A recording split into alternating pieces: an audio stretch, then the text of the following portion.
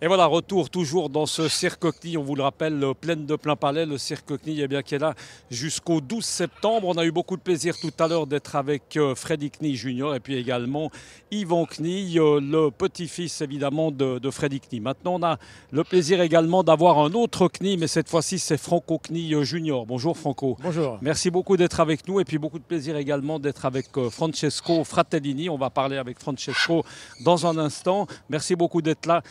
Première partie, nous on était vraiment subjugués. C'est magnifique, hein. il y a du rythme, il y a, du, il y a, des lumières assez fantastiques, il y a la musique aussi. Quel changement, c'est vraiment une belle année Franco. Merci beaucoup d'abord. Et oui, on a beaucoup investi dans, investi dans l'infrastructure. On n'a plus les mâts qui dérangent, on a une vue libre sur la piste, on a investi avec euh, le son, avec la lumière et comme vous dites, euh, le résultat est, Il est, il est fantastique. fantastique. Franco, directeur technique de ce cirque, ça veut dire quoi? Quelle responsabilité hein? Parce que là, accessoirement, on va voir tout à l'heure, parce que là, il y en a un qui est en train de s'impatienter. C'est un perroquet, il vous a bien reconnu. Ça allait rentrer en piste dans un instant avec lui. On va en parler euh, d'ici un petit moment. Euh, directeur technique de ce cirque, ça veut dire quoi Le travail euh, au quotidien, qu'est-ce que vous faites? Ben, c'est vraiment tout ce qui est technique, les déplacements d'une ville à l'autre. Et puis euh, on a plusieurs euh, départements, l'électricien, il y a les, les- les- Combien de personnes à gérer, Franco Là, ça fait du monde. hein. ben, euh, quelques centaines, oui. Quelques centaines.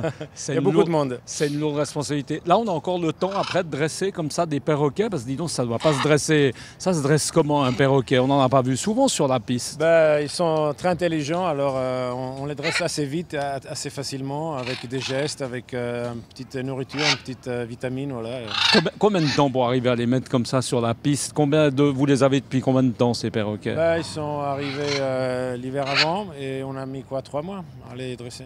Ça change un peu des éléphants quand même. Ou bien c'est pas change, tout à fait oui. le même combat. hein. Là, c'est un non, peu. mais le principe c'est- le même. Le, prin- le principe, c'est le même. Oui, qu'est-ce alors, bêtement, qu'est-ce qui est plus difficile à, dresser finalement, les perroquets ou les éléphants?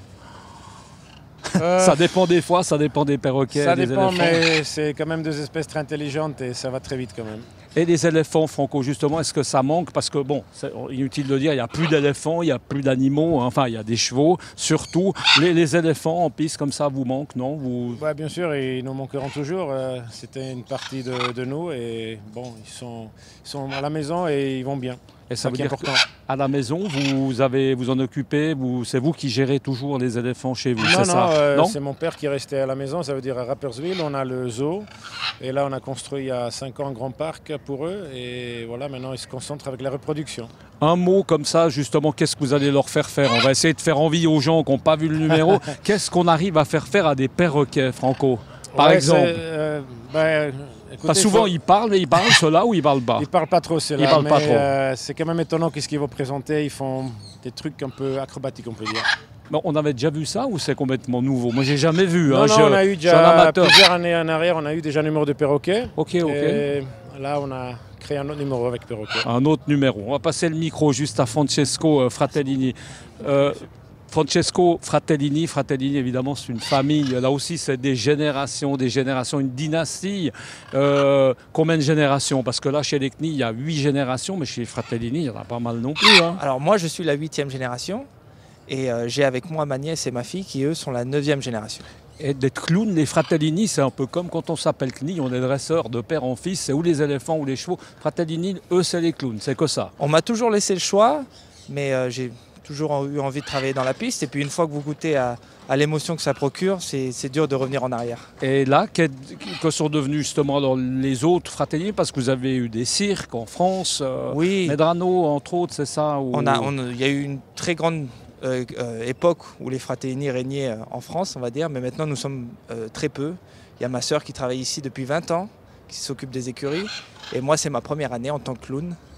Et, euh, et voilà, c'est exceptionnel. Qu'est-ce qu'on peut dire de cette famille CNI Alors attention que du bien, parce que là il y a Franco, alors il faut faire attention à ce qu'on dit. Qu'est-ce qu'on peut dire, vous qui êtes nouveau depuis le mois de mars Comment on se sent bien chez les, chez les CNI, l'ambiance, Alors- le travail Mais quelle précision, là, on est là depuis un petit moment avec euh, mon ami Michael Guillot, mais c'est, c'est, tout est orchestré au, au millimètre, hein, c'est Ah, impressionnant. hein. Comme a dit Franco, euh, ils sont, ils sont- il y a une centaine de personnes et il faut que ça soit bien orchestré.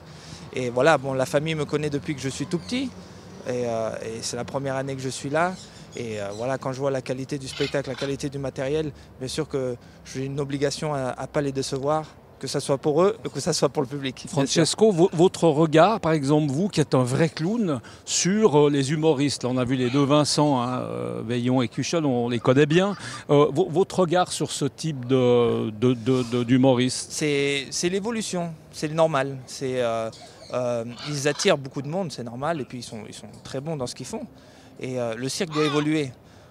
malheureusement, il n'y a plus beaucoup de, bons clowns, on va dire. Et c'est normal que les CNI envisagent de prendre des, bons comédiens, et notamment euh, Vincent et Vincent.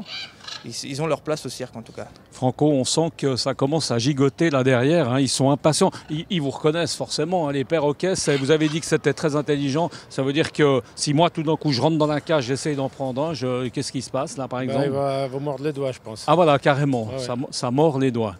bon. Il faut quand même faire, euh, avoir une confiance entre euh, l'animal et l'homme. Et si on n'a pas ça du début, euh, c'est difficile. C'est difficile. L'année prochaine, par exemple, parce qu'on prépare déjà les numéros de l'année prochaine, surtout avec les animaux, on va vous retrouver dans quel rôle, euh, Franco? Parce que vous avez déjà fait pas mal de trucs. Là, vous allez nous surprendre avec quoi cette fois-ci? C'est encore une surprise. Ah, c'est une surprise, on ne peut pas dire. Mais ça va être euh, quelque chose d'un peu exotique aussi, par exemple. Ben, ça va être différent. Ça va être différent. ok, bon, ben, comme ça, on n'en saura pas beaucoup plus. On a essayé d'avoir le scoop.